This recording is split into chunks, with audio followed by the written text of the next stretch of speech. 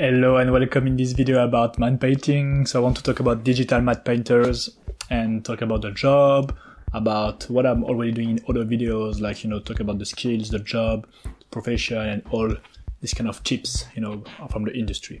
So matte painters is all about 2D representation of a localization. So you have many type. First, you can have some extensions and backgrounds. So basically you can provide something impossible or difficult to shoot. To shoot. So imagine you want something fiction, uh, sci-fi, and you want to shoot this. Uh, you can't. You know, it's very, it's on the space in a spaceship. So you want to extend something. You need, you need a guy to do the the background. At the same time, if you have a localization in some desert or in some part, and you don't have the budget to to go there, or you don't want to have the budget to extend some buildings or do like some stuff like this, to go in a city. So you do this in a studio and you add digital matte painting to provide this extension and these backgrounds.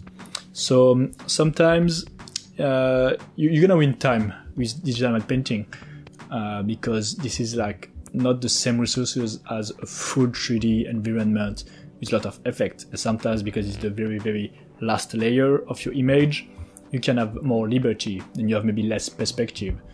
Um, so replacing live action or existing uh, shot or just improve it, you know, that's something DMP can do. At the same time, uh, you want to stay realistic uh, from the movie, from the concept. So you have a lot of discussions with art direction, directors, and all the stuff around the decision of the DMP. Um, basically, your skill are from photography to computer graphic to painting. You can use everything you need to make the image happen. You know, you can draw yourself, you can draw the stuff, you, or you can just, you know, add projection, 3D projection. You can add some photography. Maybe you can have some strong reference you can use with. Um, maybe if you are a team, you're gonna just provide different type of layer.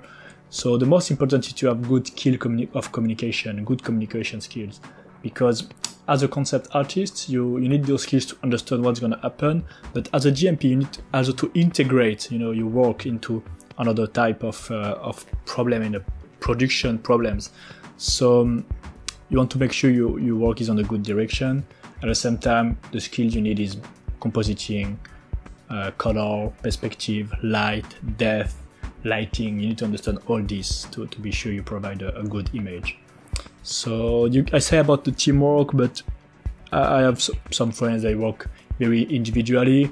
They can do everything by themselves. So it's also the type of profession, or you can be by yourself and provide, you know, DMPs for multiple teams. You don't need really a team or someone to work with. You can do everything by yourself. Um, so yeah, you need a, a very in-depth knowledge of Photoshop, um, Illustrator, like all the 2D softwares you want to, you know, to, to make sure you have one you're very good at so you can manipulate infinitely the image. You want to make sure the image is very controllable and you can change stuff, change the layers, adjust, add, remove, you know, to please all the all the concept, all the departments and make sure your image is, on the good way. Also, you're gonna face clients, creative directors, so that's also something uh, from DMP you can sometimes have this kind of bridge because it's kind of external from some other departments and you make you want to make sure like you have a good vision and you can add your, your final touch add your touch in the in the overall image and that's why they hire you it's to add also something more we don't really know how to add in this kind of background and can add a lot of value on the image and on the shot so basically, in terms of portfolio, except the stunning art, you know, you need a stunning art to make sure, like everybody don't forget you. That that's important for sure. But I think you need to try some. So basically, you're a good concept artist and you move into DMP.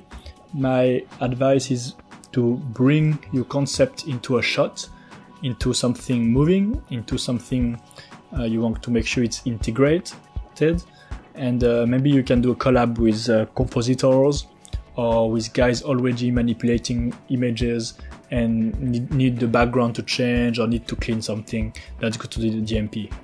Uh, so you can do this to improve the work and have a good portfolio, like a living portfolio, not just static images, but something on the movement.